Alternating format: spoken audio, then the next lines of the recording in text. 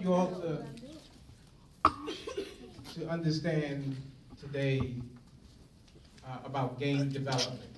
Say game development. Game development. Okay. So at the end of today, you guys will have a better understanding on what? Game development. Say it again. Game development. All right. I am Matty Rich. What's my name? Language. All right. I am a film director, TV director, and what you call in the video game world a creative director, and an art director. The creative director and the art director is over the game development. So I am the person who helps all the different team leaders achieve the goal of creating the video game. So my first film was called Straight Outta Brooklyn. I did this movie when I was 19. 19 years old. Y'all got that? All right. Second movie was The Inkwell. I did that when I was 21 years old. Y'all got that?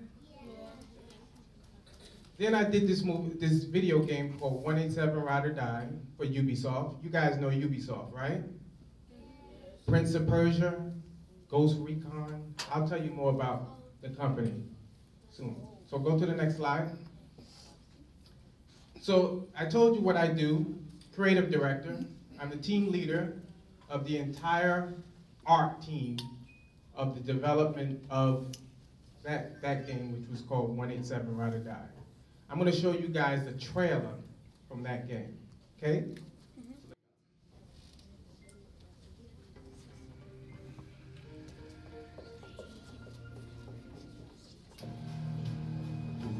And in this world, fast whips, sexy women, and hot speed knots, yeah, that's just a given.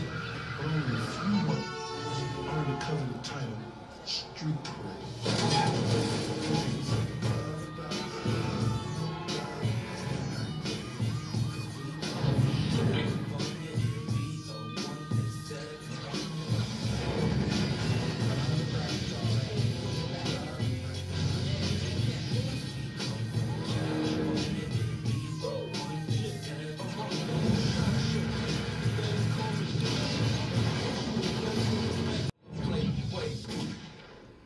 All right. Y'all can, y'all can give me a little applause for that. Thank you. I can stand up too, by the way. Okay, so, um, so what you just saw is what we call a video game trailer. It helps sell the games for people to, to play it, for people to buy the game. Every single piece of artwork you saw, uh, I had a piece, a hand in helping to create from the characters to the clothing to the cars to the weapons to the explosions to the effects to working with all the programmers, the engineers, the background designers, the lighting. There's a lot that goes into making a video game. So we're going to learn a little bit more. But I want you to understand the business side of why, you, of why you should consider becoming a game designer. Okay? Why making games are as important as playing games.